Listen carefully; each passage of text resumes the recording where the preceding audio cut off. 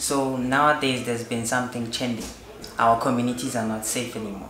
So we decided to come up with a solution that would allow us to create a real-time app that will be able to share, uh, share the connections of everyone, the locations of the people that they have. So it also has built-in varieties and alerts that can be sent via SMS so you can let other people know where you are all the time.